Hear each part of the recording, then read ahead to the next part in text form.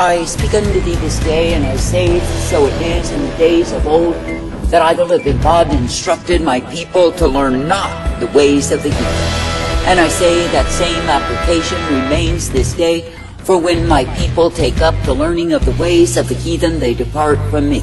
And I say they take to themselves customs, traditions, that are indeed evil before me because they teach offerings, they teach oblations to other gods. And I say they teach my people rituals that symbolize the gods of darkness and evil, and they are not of me at all. Therefore I say this day, do not think that you must indeed learn the culture, the tradition of heathen, and will benefit from the same. For I say that those things are nothing but darkness, and I say, why should you want to learn of those who are indeed damned? That is, why would you want to learn their ways when their ways will only entice you away from me? And I say, why would you want to take up those things that are considered madness before me? Now I say this day that I, the living God, do intend that the ones who are my people would learn of me. That is, that they would be thankful each day to partake of the truth, the light, the strength that I give, because indeed they are mine. I say that I never intended that my own people would engross themselves in learning the ways of the heathen and likewise grow weak and feeble in their relationship unto me. But I say that my people are meant to learn of me, to love me, to partake of me each and every day. Now I say this day that I, the living God, do call thee to walk uprightly. I say that I call thee to be thankful that it is me that you serve. For I say, that you will continue in the way of truth and light, the way of mercy and hope that I provide, then you are ever guided by me.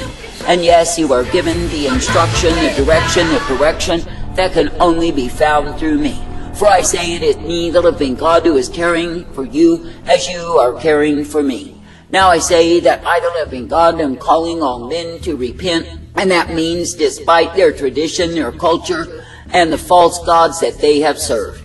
That is, my people are not meant to come along and make allowances for those of other traditions, other cultures in preaching and teaching the call to repent. But I say that my people are meant to stay steadfast in the commission that I desire and require, not bowing to demon gods, nor giving way to the pressure of culture and tradition that is nothing but demonic bondage. But I say that the truth must go forth that those are, who are entrapped, ensnared, and entangled in culturism and traditionalism must come out of the same. That is, they must repent, they must turn from the darkness, the evil traditions, and walk uprightly in me. For I say, if men do not repent, if they do not turn from the sins of their fathers, then I say they are cursed and likewise damned in the same. Therefore I say it is imperative that you do not be threatened by culture, by tradition, but you declare, declare, declare the truth that I ordain. For I say it is only to repentance that all men will be found abiding in me. I say this day be thankful that I, the living God, am the one who does give to men the opportunity to repent. For I say there are many who are steeped in tradition and culture that is nothing but demonic oppression and darkness, evil and wickedness, and they are bound in the same. That is, they are under the curses because their fathers went a from me.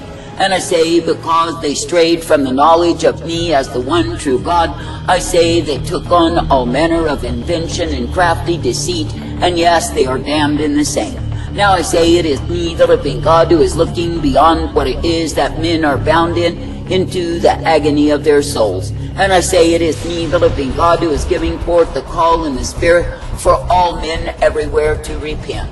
That is, for men to come into the knowledge of me through repentance, to come into the understanding of my way. For I say, when a man will truly desire me and cry out unto me, then I say it is me, the living God, who can transform such a one.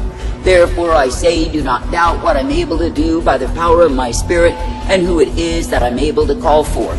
For I say it is me, the living God, who is indeed well able to call men from every nation, kindred, and tongue. And it is me, the living God, who is indeed well able to call men out of that which is iniquity into the glorious light of who I am. And I say it is me, the living God, who is well able to redeem. Therefore I say, keep your hope ever stayed upon me, keep your confidence in me, and be ever thankful for my way. That is, be thankful for the way that I offer, the way of repentance, revolution, the way of rejecting the evil of these present times. And I say, be thankful that I, the living God, am the one who can thoroughly cleanse anyone who will subject themselves unto me. For I say there is nothing impossible with me, for I say that I am indeed well able. Now I say there are many who are indeed in great anguish, great suffering, and great sorrow because of what it is that they believe. That is because they believe the lies, the crafty inventions, the fabricated tales that have been passed down as their traditions. I say they are hopelessly bound in the same. But I say that it is me, God, who is well able to go beyond the walls of their isolation and call them forth in me. And it is me, the living God, who is indeed well able by the power of my Spirit to supersede all of the culture, the traditions of men. Therefore I say this day, do not be stopped in the declaration, in the call to repentance, revolution, for I say it is indeed the missionary call. That is, that all men throughout the earth must know that I am the I am. That is, that they must indeed understand that it is unto me that they need to repent. For I say they are guilty before me, for I say their fathers transgressed, and they are likewise under the curse of the same. And I say that they need the forgiveness that can only be found through me. Therefore I say this day be all the more zealous to proclaim who I am to a sin-sick, a dying, a perishing world. And I say do not be stopped by those things that keep men bound, but I say give them the truth nonetheless. For I say, when you will indeed proclaim to all men their need to repent, to come in to me to thoroughly amend and change their ways, I say there will be those who will hear and obey. And I say that they will be brought out of out of generations of culture, of tradition, of darkness, and into the glorious light. For I say it is me, the living God, who is well able. It is me, the living God, who can indeed set men free.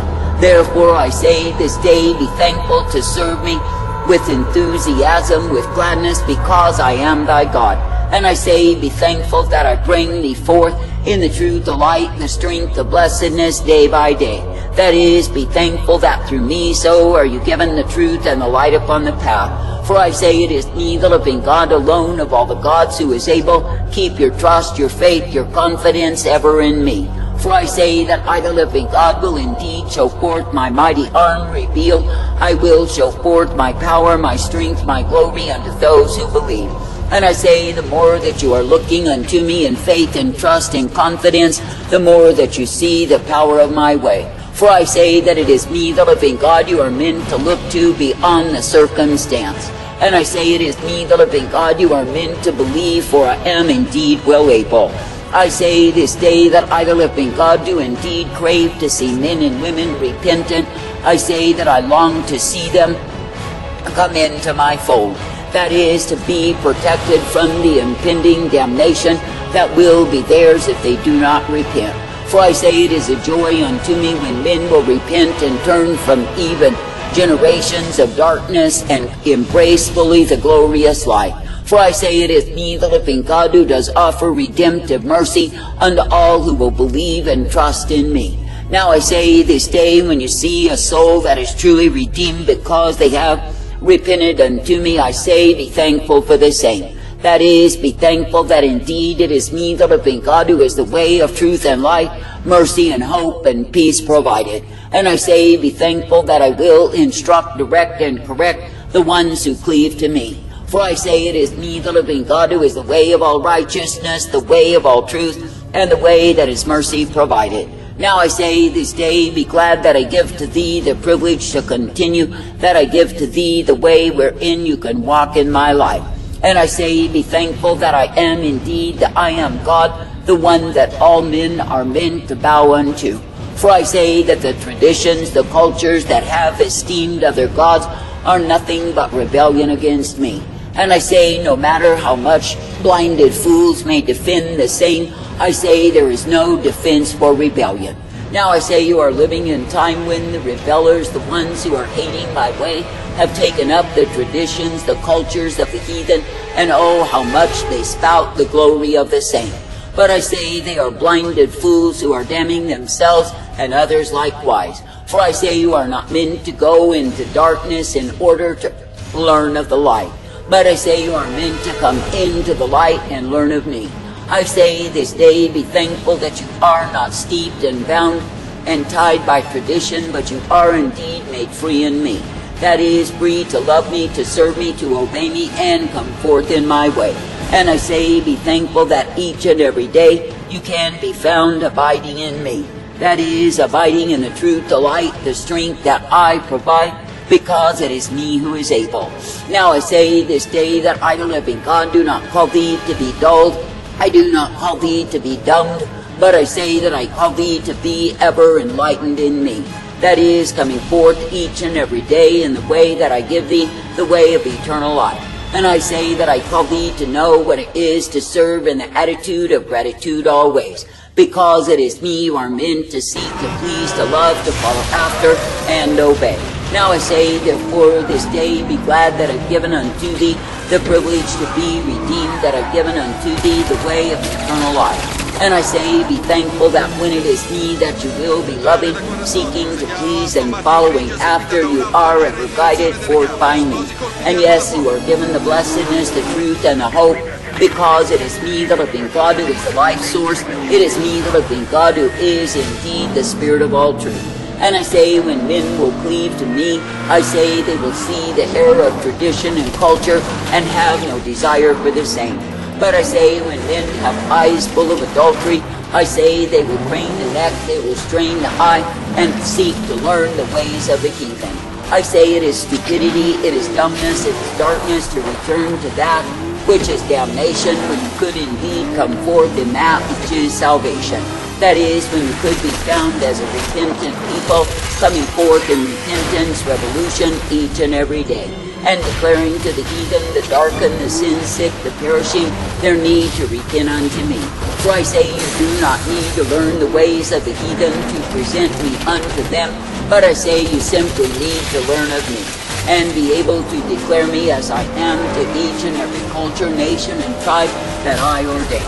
Now I say this day, be thankful, be thankful, be thankful to be set free through me.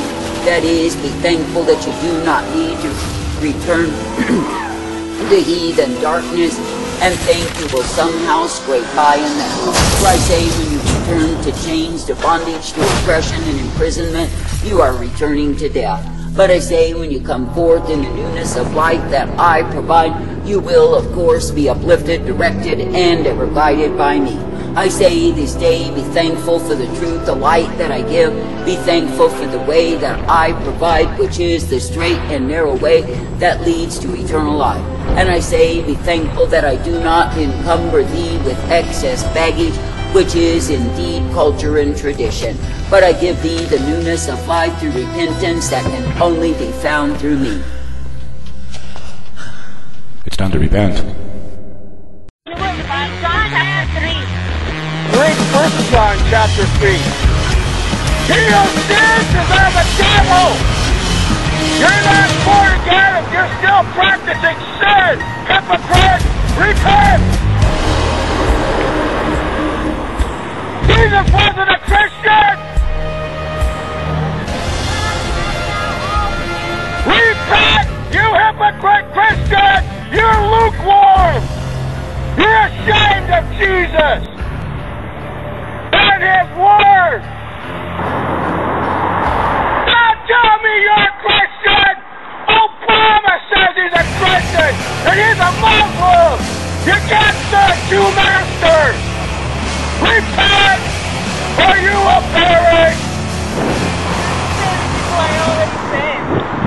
No one's saved till you get to heaven. Lots of things can happen between when you said the prayer which ain't in the Bible and when you die. You can deceive yourself by sin, the Bible says. Harden your heart through the deceitfulness of sin and call yourself saved. But you're going straight to hell. Like the Bible says, he who sins is of the devil. And the devil is your father,